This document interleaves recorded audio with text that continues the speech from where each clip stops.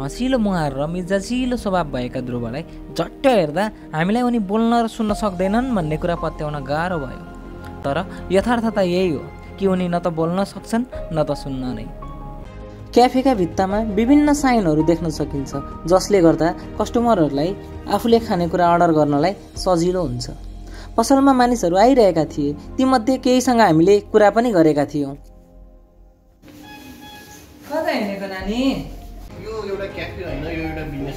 सङ्घर्षको कथा होइन हजुर। एउटा डिफ्रेन्टली एबल्ड मान्छेले एउटा बोल्न सुन्न नसक्ने मान्छेले एउटा यतिसम्म गर्नु भएको छ यति यहाँ पब्लिकले पनि यति माया गरेछ उहाँहरूलाई। धेरै मान्छे देख्छु ज- भिड देख्छु धेरै हजुर। एकदम माया गर्नु भएको छ। अनि ध्रुव दाजु हजुरलाई काम गर्न रमाइलो लाग्छ।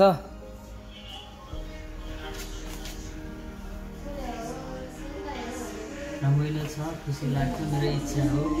कुरा गर्न पाइन्छ चिया कफी खाजाहरू दिन पाइन्छ। बाहिर मान्छेले पनि कसरी काम गर्छ यो चिया कफी मोमो अनि यसरी च ची अनि या यसरी हुन्छ। साइन ल्याङ्ग्वेजमा चाहिँ चलाई यस्तो गरेपछि हजुर। हाम्रो चिया हुन्छ कालो चिया यसरी। मलाई के भन्न चाहन्छु भने अब नेपालमा हामी जस्तो सबल मान्छे सुन्न सक्ने बोल्न सुन्न आएको त राम्रो भयो मान्छेलाई त अहिले गरी खान जब पाउन निकै गाह्रो छ भने जस्तो हाम्रो समाजमा अब सुन्न नसक्ने बोल्न नसक्ने अब यस्तो अरू पनि अपाङ्गता हुन्छ हातखुट्टा नभएको। उहाँहरूलाई पनि केही गर्न सक्ने हौसला एउटा ऊर्जा दिनु होला होइन? उहाँले गर्न सक्ने के छ त्यो पहिला खोजी गरेर उहाँ केमा इन्ट्रेस्ट छ उहाँको इन्ट्रेस्ट पनि हेर्नुपर्छ पहिला त। र अन्तिममा म के भन्न चाहन्छु भने ज जसलाई पनि पाएको पर्छ भरतपुरको नहर चोकबाट नजिकै छ। कृपया हजुरहरू यहाँ आइदिनुहोस्। यहाँ केही नखाए पनि उहाँहरूले गरेको काम हेरेर जानुहोस् र अरू कसैलाई यहाँको उदाहरण दिनुहोस्।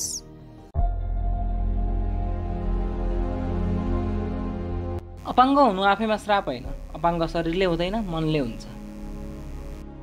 दृढ इच्छा शक्ति र परिवारको साथ सहयोग पाएमा शारीरिक अपाङ्गता भएका व्यक्तिहरूले पनि समाजमा अनुकरणीय कार्य गरेर देखाउन सक्छन्। आउनुहोस्। त्यस्तै एक पात्र ध्रुवलाई नजिकबाट निहालौँ। यो चितवनको भरतपुर स्थित बाइपास रोड अन्तर्गतको नहरचोकबाट करिब सय मिटरभित्रको ठाउँ हो जहाँ ध्रुव नेउपानेले सञ्चालन गरिरहेको द डिएन साइन क्याफे छ। हामी उनको क्याफेमा पुग्दा उनी काम गरिरहेका थिए। हँसिलो मुहार र मिजाजिलो स्वभाव भएका ध्रुवलाई झट्ट हेर्दा हामीलाई उनी बोल्न र सुन्न सक्दैनन् भन्ने कुरा पत्याउन गाह्रो भयो। तर यथार्थता यही हो कि उनी न त बोल्न सक्छन् न त सुन्न नै। मध्याहको करिब तिन बजेतिर हामी उनको क्याफेमा पुग्दा उनी आफ्नो काममा निकै व्यस्त थिए। साङ्केतिक भाषामा कस्टमरसँग कुरा गर्ने अर्डर लिने बनाउने अर्डर पुर्याउनेदेखि लिएर क्याफेको सरसफाइसम्म सबै उनी आफैले गर्छन् जसमा उनलाई भाइ अनि बुहारीले आफ्नो काममा साथ दिन्छन्।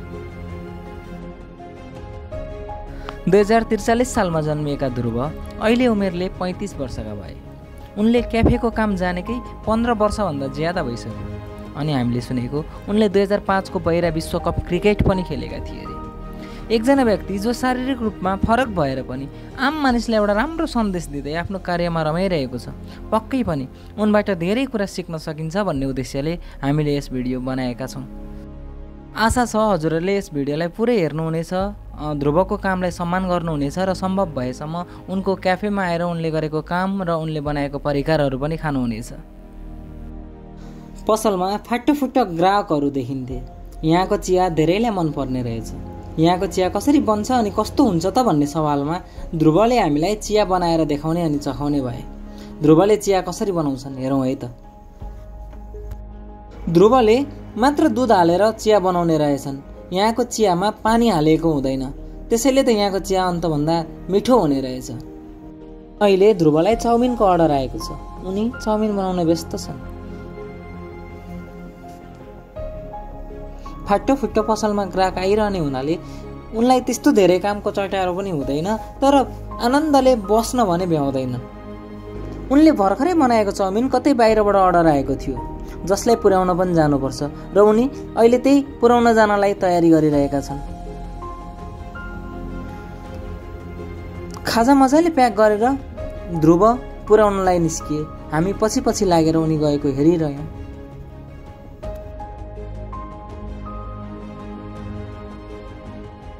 क्याफेका भित्तामा विभिन्न साइनहरू देख्न सकिन्छ जसले गर्दा कस्टमरहरूलाई आफूले खानेकुरा अर्डर गर्नलाई सजिलो हुन्छ। पसलमा मानिसहरू आइरहेका थिए। तीमध्ये केहीसँग हामीले कुरा पनि गरेका थियौँ। कता हिँडेको नानी? मोमो लिन आएको। यहाँको मोमो मिठो हुन्छ। हँ? मोमो मिठो हुन्छ। मुखतमध्ये हल्ने टाउको लगाउने नि बाबु। नाम के हो? ए म त मोमो कुमारी होला भन्दै थिएँ। हजुरका नातिनीहरू हुन् कि? जस्तो खाजा खाना कहिले कहाँ अर्डर गर्नलाई यहीँ आउनुहुन्छ। हजुरको घर कति टाढा? जस्तो होटल त अन्त पनि छन् क्याफेहरू अन्त पनि छन् यहाँ किन आउनुहुन्छ? यो नजिक भएर। नजिक भएर? अनि यहाँको कस्तो मोमो खानेकुरा राम्रो छ? यहाँ खानेकुरा राम्रै छ। नजिक पनि छ राम्रो पनि छ। नजिक पनि छ राम्रो पनि छ। खुसी हुनुहुन्छ सन्तुष्ट हुनुहुन्छ उहाँहरूको सेवाबाट। केही समयपछि अर्का एकजना मानिस आए जो सधैँ आउने रेगुलर कस्टमर रहेछन्। उनी आएर लेखेर ध्रुवलाई अर्डर दिए। आखिर बोलीले नरोक्दो रहेछ नि। दृढ इच्छा शक्ति भएमा मानिसले जसरी पनि गरी खान सकिने रहेछ।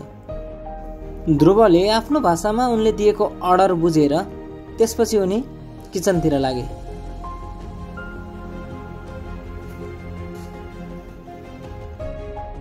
हामी त्यस क्याफेमा हुँदा हुँदै पेसाले डाक्टर रहेका एकजना मानिस पनि आएर आफ्नो अर्डर कुरेर बसिरहेका थिए। हामी उनीसँग कुरा गर्न लाग्यौँ। यो एउटा क्याफे होइन यो एउटा बिजनेस होइन यो एउटा सङ्घर्षको कथा हो। हजुर।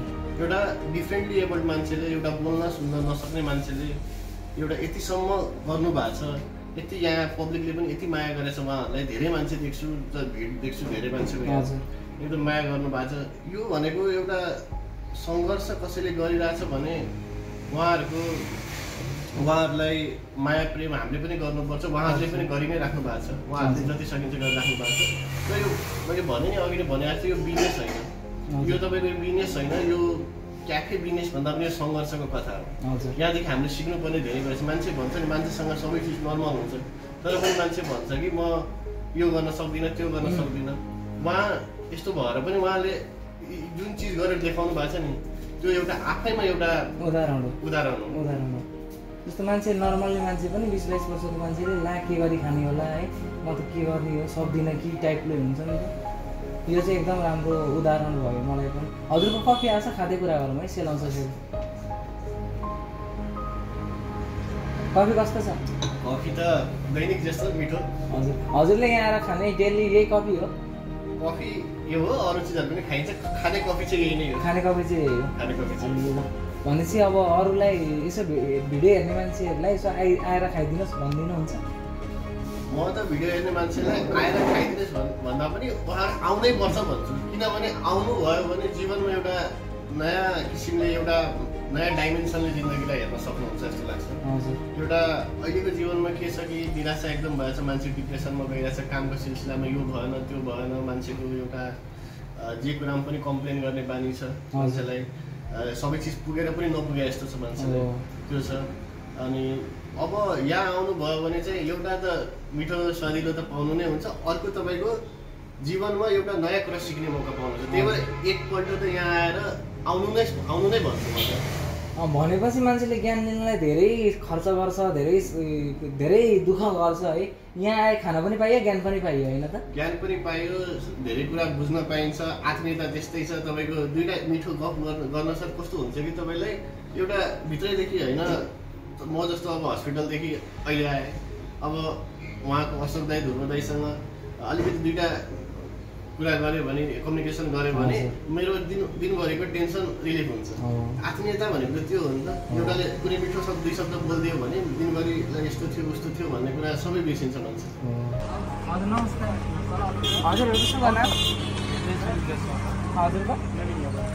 हजुरहरू खानालाई पर्खेर बस्नु भएको छ अर्डर दिएर पर्खेर बस्नु भएको छ कि खाइसकेर गफ गरेर बस्नु भएको छ? चिया पर्खेर। चिया पर्खेर हो। अँ डिएनको चिया मिठो हुन्छ।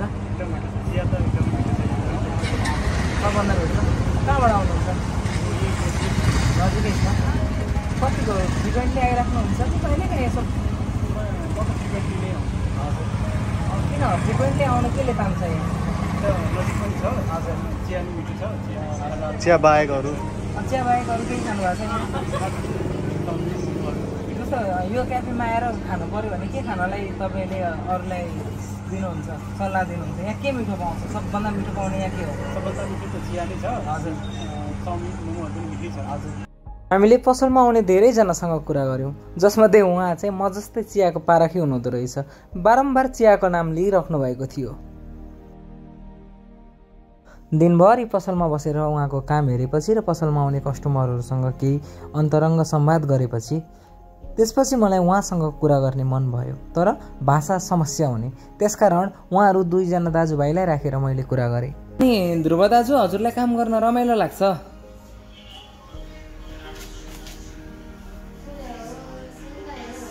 रमाइलो छ खुसी लाग्छ मेरो इच्छा हो। सबैसँग कुरा गर्न पाइन्छ चिया कफी खाजाहरू दिन पाइन्छ। बाहिर मान्छेले पनि कसरी काम गर्छ? यो चिया कफी मोमो पनि कसरी भन्छन्? त्यो त्यो कुराहरू सबै कुरा मैले सिकाउँछु आउने कस्टमरहरूलाई। त्यो अनुसार उहाँहरूले भन्नुहुन्छ अनि म दिने गर्छु। भन्नुहुन्छ? ए जस्तो उहाँले पहिला क्रिकेट खेल्नुभयो होइन? अनि उहाँलाई पहिला खेल्न रमाइलो कि अहिले यस्तो क्याफे चलाएर बस्नलाई रमाइलो सोधिदिनु त?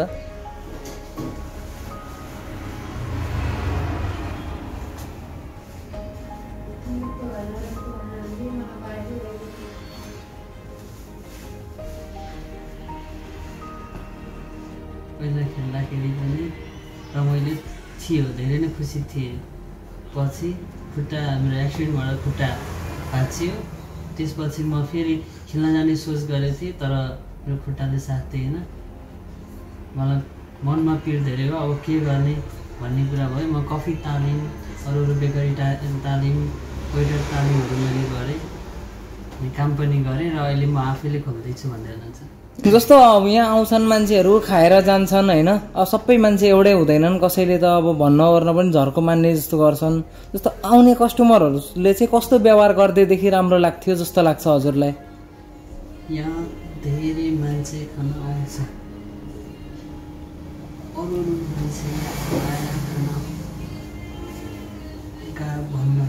कसरी भन्ने खानेकुराको नाम सोचे छ होला? पछि खाइसकेपछि मान्छेको के छ? राम्रो छ खुसी छ छैन? भन्ने क्वेसन गर्नु क्वेसन छ। मान्छे आउनुहुन्छ यो बहिरा हो कसरी भन्ने? भनेर अनि पछि चाहिँ आफैले लेखेर दिनुहुन्छ अरे। अनि दाइले चाहिँ अनि खानेकुराहरू चाहिँ बनाएर ल्याउनुहुन्छ मिठो छ भने। अनि त्यसपछि मात्र यो हाम्रो क्याफेको नाम हेर्नुहुन्छ अरे। अनि यो नाम पहिला पनि हेर्दा युनिक लागेको थियो साँच्चीकै युनिक रहेछ भनेर नाम पनि हेरेर अनि फेरि पनि रिपिट हुनुहुन्छ अरे कि? हजुर। मिठो भएपछि जस्तो म पनि पहिलोचोटि आउँदाखेरि यो के थियो कस्तो थियो उहाँको ब्याकग्राउन्ड मलाई केही पनि थाहा थिएन होइन। अनि दोस्रोचोटि आउँदाखेरि बल्ल मेरो भित्तामा त्यो नोटिस भयो कि। मैले बोर्डको नाम त त्यस आज आउँदा मात्रै हेरेँ अस्ति पनि हेरेको थिइनँ खिचेको थिइनँ होइन? अनि जस्तो अब सबै जस्तो हेर्दा त नर्मल जस्तो लाग्छ। उहाँ पनि नर्मली नै देखिनुहुन्छ नि त। अनि जस्तो कहिलेकाहीँ चाहिँ अब अन्डरस्ट्यान्डिङ हुँदैन कि। मान्छेले नर्मल जस्तो भने हुन्छ उहाँलाई उहाँले बुझ्नु भएको हुन्न नि त। अनि मान्छेले चाहिँ कस्तो अटेरी गरेको नबुझे जस्तो भएको इन्सिडेन्ट छ कि छैन त्यस्तो। कहिलेकाहीँ मान्छेले भन्ने अनि उहाँले नबुझ्ने तर मान्छेले चाहिँ यसले नसुनेको जस्तो न नटेरेको जस्तो गरेका छन् कि नै। बाहिरी मान्छे आउँदा फर्स्टमा तिमी बोल्ने सुन्ने मान्छे होला भन्ने शङ्का गर्छ। अनि पछि भन्दा सुन्दैन आफ्नो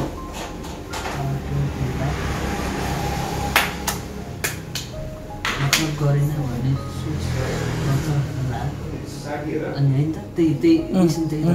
अनि मान्छे रिसाउने भएको छ कि छैन त्यसरी? अरू बाहिरी मान्छे आएपछि तिमी मतलब गरेन नि। पछि मान्छेले रिसाएर जानु छ छैन। मान्छेले रिसाएर गएको छ छैन।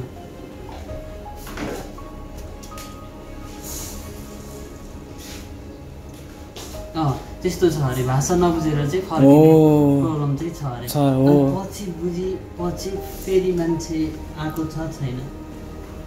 बुझिसकेपछि ए नसुन्ने मान्छे हुँदो रहेछ नबोल्ने मान्छे हुँदो रहेछ भनेर चाहिँ फेरि उहीँ फेरि पछि आइसकेपछि चाहिँ एकचोटि खाएपछि चाहिँ रेगुलर आउने गर्नु जस्तो सुरुमा झर्किने रिसाउने जस्तो अब मान्छेलाई थाहा हुँदैन नि त। गऱ्यो भने पनि थाहा पाइसकेपछि पछि सरी भन्ने रेगुलर आउने अनि त्यस्तो त भयो होला नि त होइन? फर्स्टमा आउँदा मान्छे रिसाउने अनि तिम्रो बानी पछि चाहिँ तिम्रो विषयमा सबै थाहा पाएपछि रिसाउने कराउने छ छैन। छैन अरे। पसलमा मानिसहरू आइराख्नु भएको कारणले गर्दाखेरि ध्रुवदाई हामीसँग बसेर गफ गर्नलाई धेरै समय दिन भ्याउनु भएन। त्यसकारण उहाँका भाइ अशोकसँग हामी कुरा गरिरहेका छौँ। अशोक सर नमस्कार। हजुर यो ठाउँमा क्याफे खोल्नु भएको कति भयो? यो ठाउँ क्याफे खोलेको हाम्रो लगभग डेढ वर्ष जति भयो। यही ठाउँमा छ? अगाडि पहिले सानो हजुर। सानो स्पेस कारणले हजुर। जस्तो दाई अब बोल्न सक्नुहुन्न सुन्नुहुन्न होइन? दाईलाई चाहिँ लिएर म यसो एउटा क्याफे जस्तो खोलिदिन्छु अनि दाईलाई घर व्यवहार गर्नलाई चलाउनलाई सजिलो हुन्छ। अरूको लागि पनि एउटा उदाहरणीय काम हुन्छ भनेर यस्तो राम्रो सोच हजुरलाई कहाँबाट आयो? यो अब बच्चैदेखि अब आफ्नो फ्यामिली प्रब्लम हो यो हजुर। अब आफू केही गर्न सक्ने भइसकेपछि दाइको लागि दिनुपर्छ हजुर। ठाउँ दिनुपर्छ।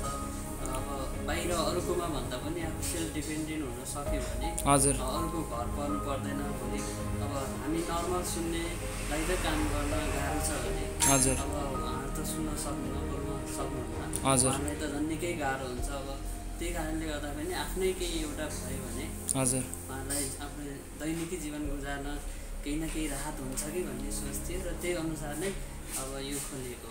हजुर। जस्तो तपाईँलाई जस्तो अब दाई हुनुहुन्छ नि उहाँ चाहिँ आफ्नो अहि- अहिले आफूले जे गरिराख्नु भएको छ जसरी सञ्चालन गरिराख्नु भएको छ उहाँ आफू सन्तुष्ट हुनुहुन्छ जस्तो लाग्छ कि उहाँको मनमा अझै केही कुराहरू छन् जुन कुरा चाहिँ हामीले कम्प्लिट कुरा पुरा गर्नलाई बाँकी छ जस्तो लाग्छ? हजुर हजुर। आफ्नो काममा चाहिँ सन्तुष्टि हुनुहुन्छ हजुर।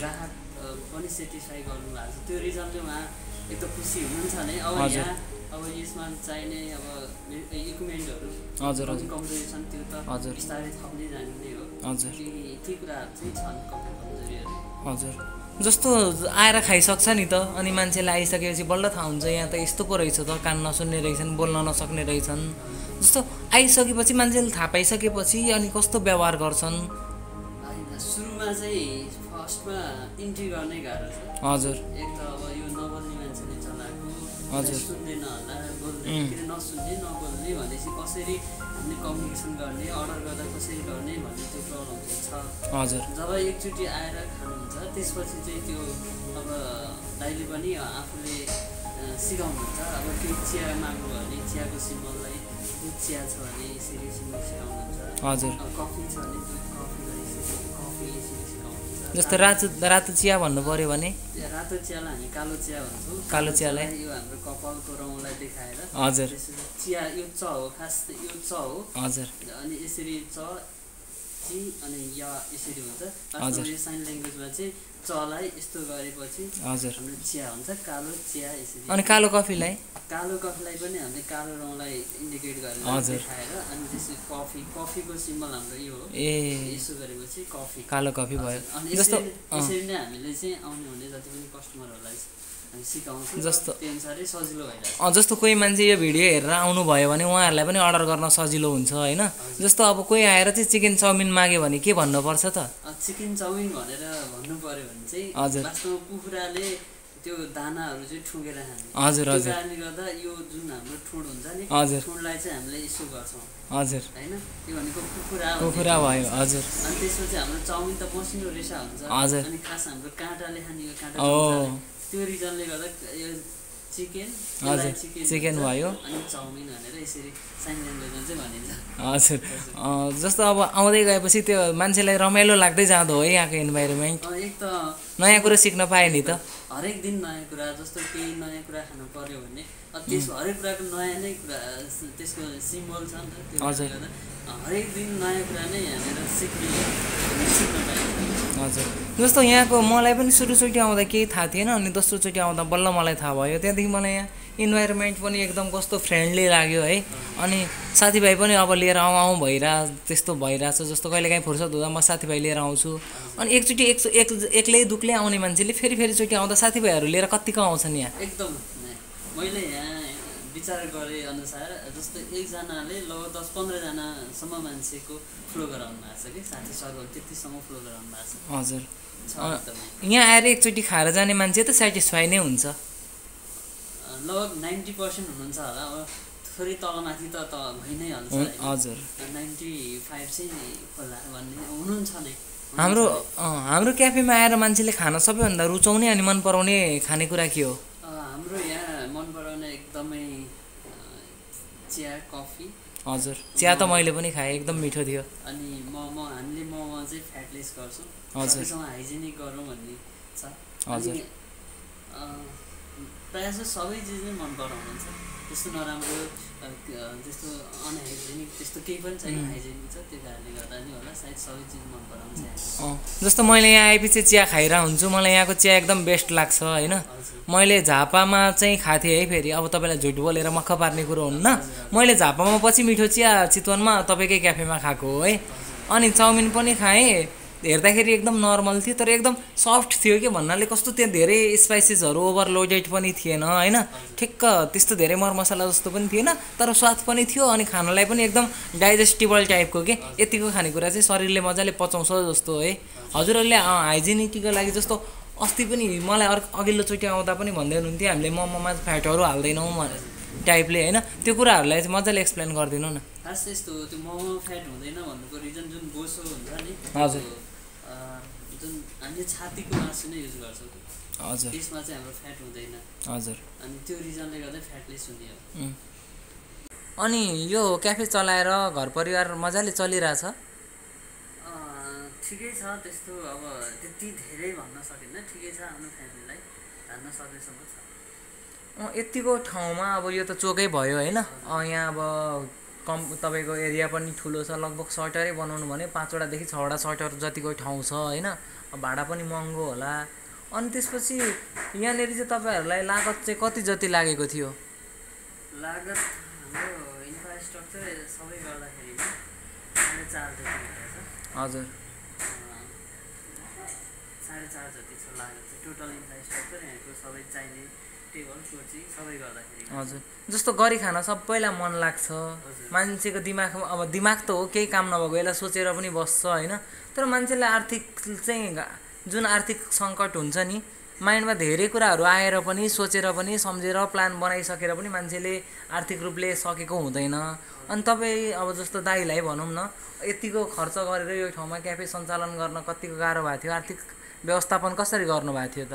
सुरुमा त निकै गाह्रो थियो। स्टार्टिङ हामीले सानो एउटा कर्नरबाट गरेको थियौँ। त्यो कर्नरमा पनि हाम्रो लगानी लगभग एक लाख जति थियो सुरुको लगानी। हजुर। त्यही एक लाख पनि हामीलाई त निकै गाह्रो थियो। म पढ्दै गर्दा दाइ अब त्यो कोरोनाको त्यो दस महिनाको भाडा काठमाडौँमा तिरेर हामी दाइको साउन चिताउन सिफ्ट गर्दाखेरि त्यति बेला अब जागिरको स्यालेरी थिएन। निकै स्ट्रगल थियो गाह्रो थियो। तर एउटा मनमा के विश्वास थियो भने हामीसँग एउटा कस्टमरलाई चाहिँ खुसी बनाउन सक्नुपर्छ त्यो। हामीसँग थियो।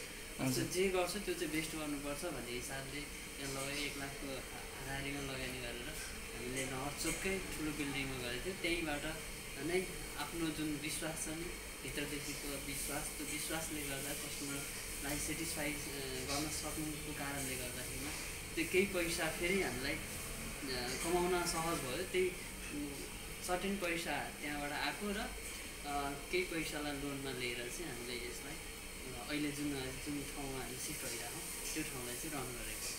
ए जस्तो मैले त्यो सर्टिफिकेटहरू पनि देखाउनु भयो अघि होइन? उहाँ त पहिला क्रिकेट खेल्नु हुँदो रहेछ। अनि कसरी क्रिकेट खेल्दा खेल्दै छोडेर अनि यता आएर यो गर्ने सोच कसरी आयो? यस्तो छ क्रिकेट दुई हजार पाँच सालमा हजुर। बाहिर वर्ल्ड कप अ, जुन हाम्रो इन्डियामा भइरहेको थियो त्यति बेला त्यसमा दाइ प्लेयर हुनुहुन्थ्यो हजुर। प्लेयर बाहिर देशबाट त्यस पछाडि दाइको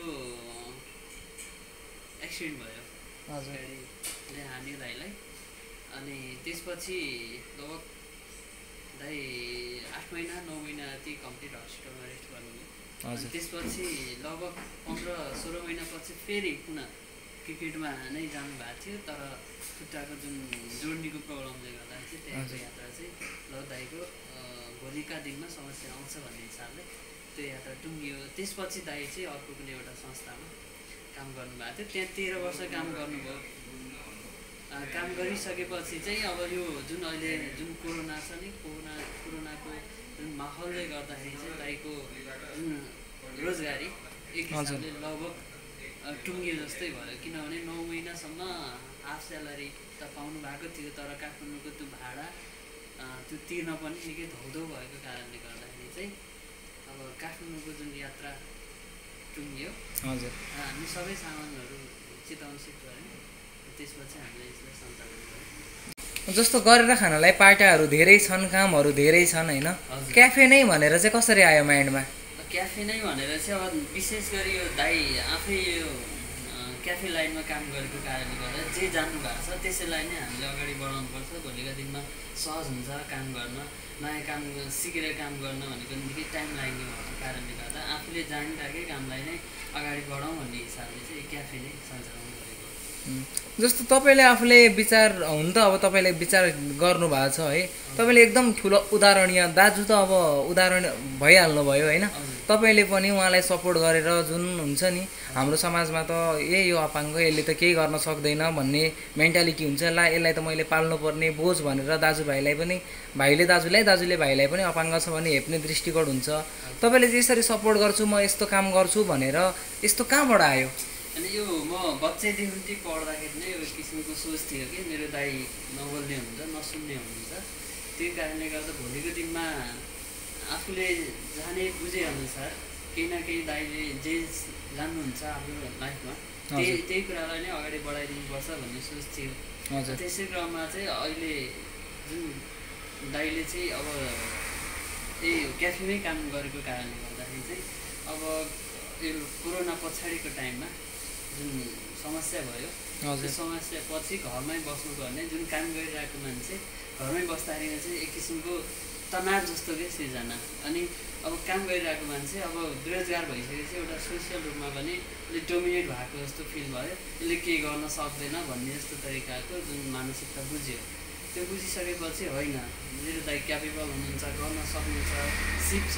उहाँलाई कुनै एक ठाउँमा हामीले इन्भेस्ट गरेर काम गर्ने अब अपर्च्युनिटी दियौँ भने उहाँले केही नै काम गर्न सक्नुहुन्छ। कसैसँग पनि डिपेन्डेन्ट हुनु पर्दैन।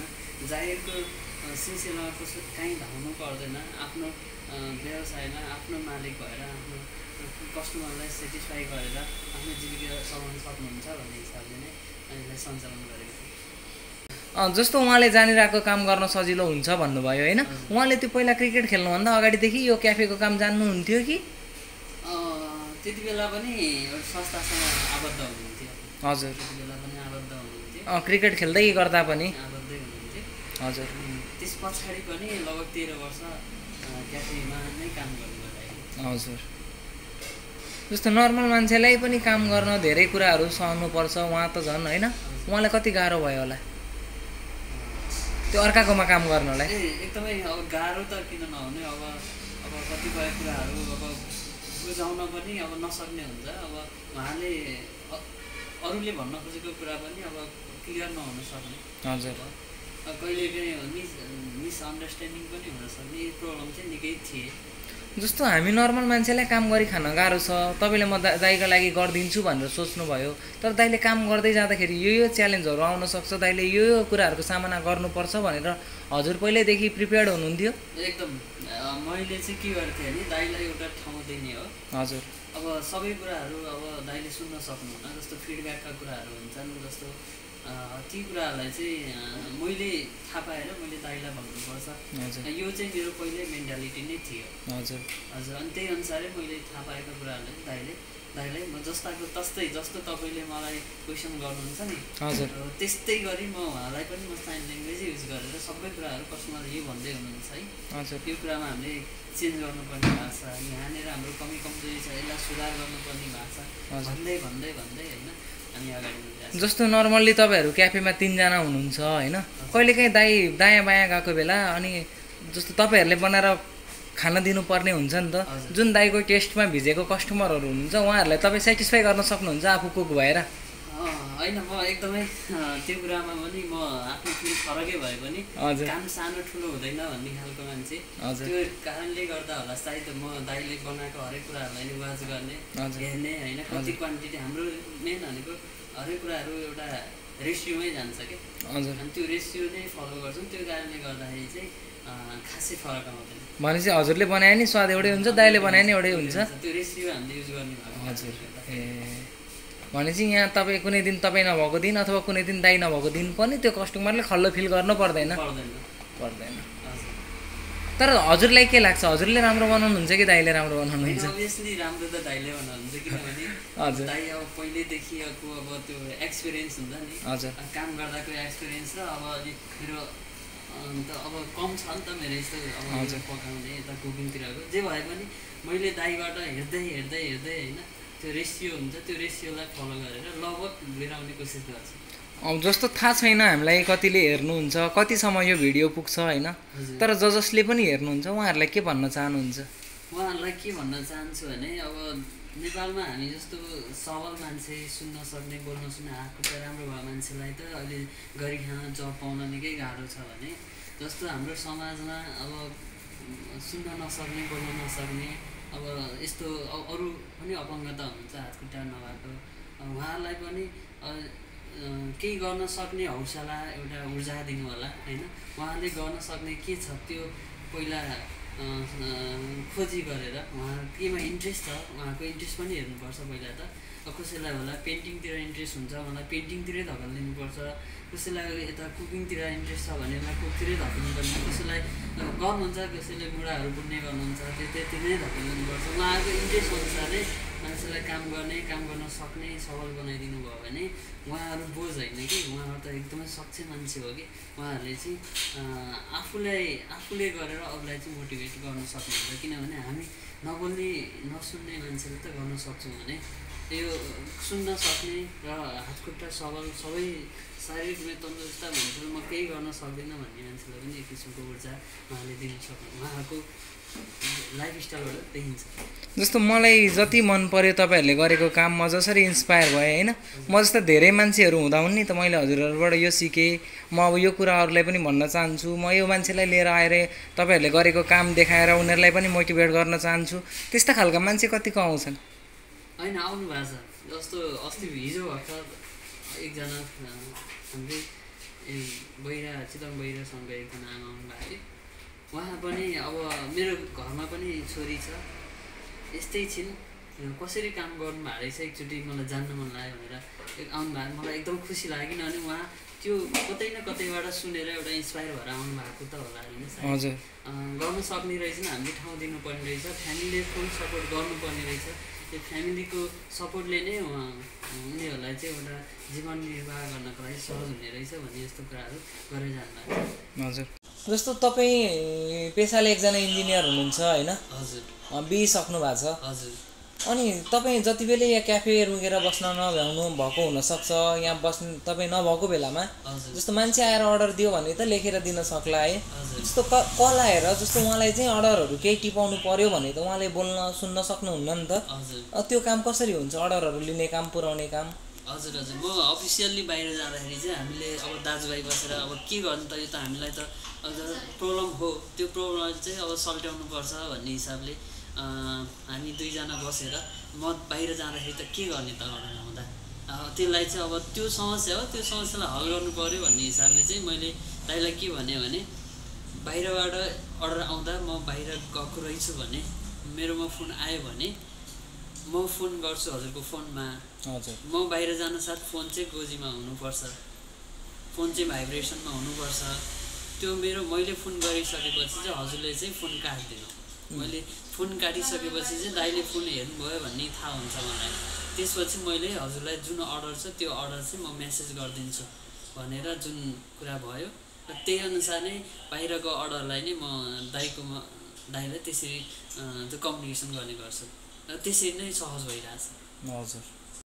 एउटा गाउँमा जन्मिएर काठमाडौँ जस्तो ठाउँमा गएर सङ्घर्ष गरेर राष्ट्रिय बहिरा क्रिकेट टिमबाट विश्वकप खेलेर पनि हाल आएर एउटा सानो क्याफे खोलेर मानिसहरूलाई चिया खाजा बनाउने भाँडा माझ्ने जस्ता कामहरू गर्न लाज सरम नमान्ने अनि आफ्नो काममा यसरी रमाउने मानिसहरू बिरलै भेटिन्छन्। शारीरिक रूपमा पूर्ण सक्षम नभए पनि म अरूभन्दा केही कुरामा कम छैन भनेर पुष्टि गर्ने ध्रुव नेउपाने धेरै साङ्ग अनि अपाङ्गहरूका लागि प्रेरणाको स्रोत बन्न सक्छन्। साथै दाइलाई हौस्याउने ऊर्जा दिने अनि हातमा हात काँधमा काँध दिएर अघि बढेका भाइ अशोक नेउपाने अनि ध्रुवकी माइली बुहारी राधिका अधिकारी नेउपानेलाई पनि यस महान कार्यका लागि धेरै धेरै धन्यवाद। र अन्तिममा म के भन्न चाहन्छु भने ज जसलाई पनि पाएक पर्छ भरतपुरको नहरचोकबाट नजिकै छ। कृपया हजुरहरू यहाँ आइदिनुहोस्। यहाँ केही नखाए पनि उहाँहरूले गरेको काम हेरेर जानुहोस् र अरू कसैलाई यहाँको उदाहरण दिनुहोस्।